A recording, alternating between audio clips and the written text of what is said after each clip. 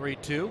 Outside corner, and it's a called third strike. He earned his way back to the big leagues this summer. Jeff Beliveau making 19 appearances for Toronto a year after surgery to repair a labrum tear in his shoulder. The lefty now trying to earn his way back to the majors with AAA Buffalo. That meant a lot to me getting back up there, and um, you know, things are going well here, and I'm feeling good physically and, and mentally. When he's healthy and, and rested, I think he's been really good. His curveball's starting to come around a little bit, and he's always thrown hard enough to get it by people, so um, we're pleased with the way he's been pitching. His injury coming after his best season with Tampa in 2014 when he posted a 2.63 ERA in 30 appearances out of the Rays pen, the recovery costing him in 2015 and forcing him to settle for a minor league deal with Baltimore last season. Last year was a frustrating year for me because I knew what I wanted to do, but you know, my, my body wasn't letting me do it. And it's just that constantly doing it and, uh, you know, getting the range of motion back, getting your strength back, and that was the one thing that heals all is time, you know, and you just kind of have to be patient and trust the process. Everything turned out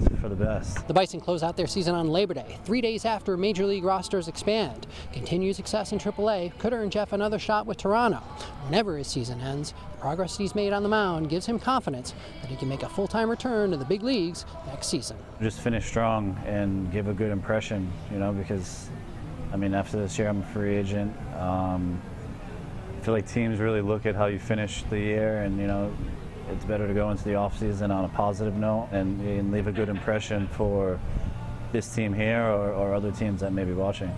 You know, if you're left-handed and you're healthy and you're, and you're getting outs, uh, you got a chance to play in the big pitch in the big leagues. So the key is uh, go out there, work hard every day like he does. He works extremely hard, and uh, hopefully the results will, will come uh, as, as the hard work pays off. At McCoy Stadium, of JP Smallins, Eyewitness Sports.